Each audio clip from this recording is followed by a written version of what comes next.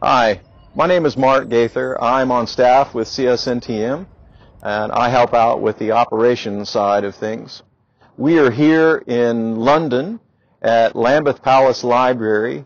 Behind me is the beautiful Lambeth Palace, which is the residence of the Archbishop of Canterbury when he's in town. And this is situated just across the Thames from Parliament. We are here to digitize approximately 28 uh, New Testament manuscripts and lectionaries. Uh, most of these date from the 10th and 11th centuries, some from the 12th, some from the 16th. Uh, they are in amazing condition.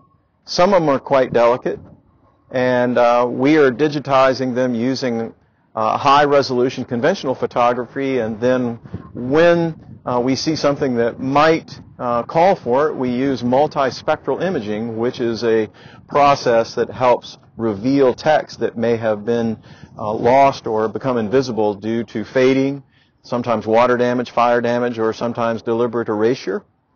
Uh, so uh, using this equipment, uh, we're able to not only uncover what may be hidden, we're able to preserve for many, many years, hopefully forever, many years to come, uh, text that has lived on these pages for more than a thousand years.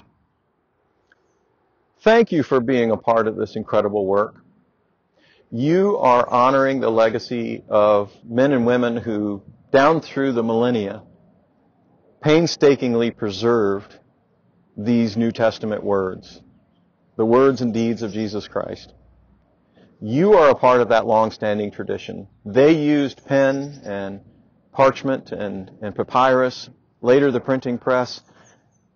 Today, with your help, we are using high-tech, high-speed digital photography to do the exact same work.